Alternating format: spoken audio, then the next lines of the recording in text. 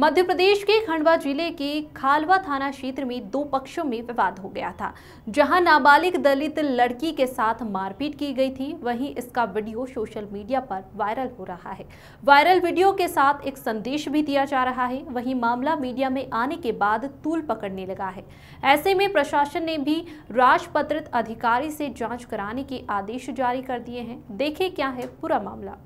इस संदेश में कहा जा रहा है कि खंडवा के गाँव भगवा पाना खालवा में जन्माष्टमी पर मटकी फोड़ कार्यक्रम में एक दलित बेटी के पंडाल से निकलने पर जातिवादी 10 से 15 लोगों ने मारपीट कर गंभीर रूप से घायल कर दिया। इस वायरल वीडियो को लेकर जब खालवा थाने से जानकारी ली गई तो पता चला कि 19 अगस्त को जन्माष्टमी की रात गाँव के भीलट बाबा मंदिर के पास मटकी फोड़ कार्यक्रम चल रहा था। उस दौरान एक युवक को नाचने से मना करने पर विवाद हो गया।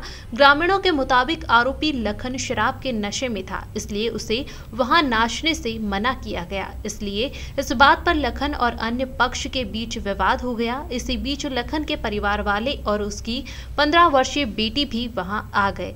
इस विवाद में उसकी बेटी के साथ दूसरे पक्ष के लोगों ने मारपीट कर दी। खालवा पुलिस ने दोनों ही पक्षों के खिलाफ मामला दर्ज कर लिया है। मैं रास्ते से जा रही थी। साइड मंदिर के पास पहुँची, वहाँ पे प्रोग्राम चल रहा था। तो माली लोग बोले तू नीच जात की है तू यहाँ से क्यों जा रही है? मैंने बोला, तुम क्यों चिल्ला रहे हो? तो मुझे मारने लगे सब भाई, आदमी सब मारने लगे मुझे। मारा मुझे लकड़ी से, लाडू से मारे मेरे को। बोल रहे थे तू नीच जात की है क्यों जा रही है इधर से? तो मारने लगे मैंने इतना ही बोला उनको तुम ऐसा क्यों बोल रहे हो? तो मुझे सबने मारा मिलके सदस्यों ने। कितने लोग थे मारपीट करने वाले? दस बारह लोग थे सर। कौन कौन थे? नाम शारदा भवानी गणेश कमल और, और काफ़ी सारे थे पर उनके नाम मुझे अभी याद नहीं है। नहीं। आप पढ़ाई करते हो? नहीं। कहाँ तक पढ़ाई करके पाँचवीं तक पढ़ाई की थी छोड़ दी सर। इसके पहले भी कभी इस तरह की लड़ाई हुई थी आप लोगों के बीच में? नहीं। जाति सूचक करके जो नहीं। मारपीट की। नहीं इससे पहले नहीं। हम जाते रहते तो बस ऐसे बोलते हैं तुम नीच जात के हो क्यों इधर से जाते हो? इससे ऐसे बोलते हैं।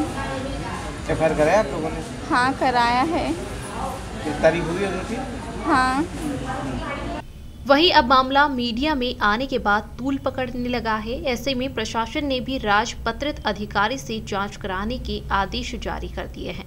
खंडवा पुलिस अधीक्षक विवेक सिंह ने बताया कि 19 अगस्त को भगवा में दो पक्षों के बीच विवाद हो गया था। दोनों ही पक्षों की ओर से एफआईआर दर्ज की गई है। एक पक्ष की ओर से एस टी एक्ट के तहत मामला दर्ज किया गया है। वहीं दूसरे पक्ष की ओर से आईपीसी की सामान्य धाराओं में मामला दर्ज किया गया है। उन्होंने कहा कि इस मामले में एक पक्ष ने जाति संबंधी गंभीर आरोप लगाए हैं, इसलिए इस पूरे मामले की अब राजपत्रित अधिकारी से जाँच कराएँगे।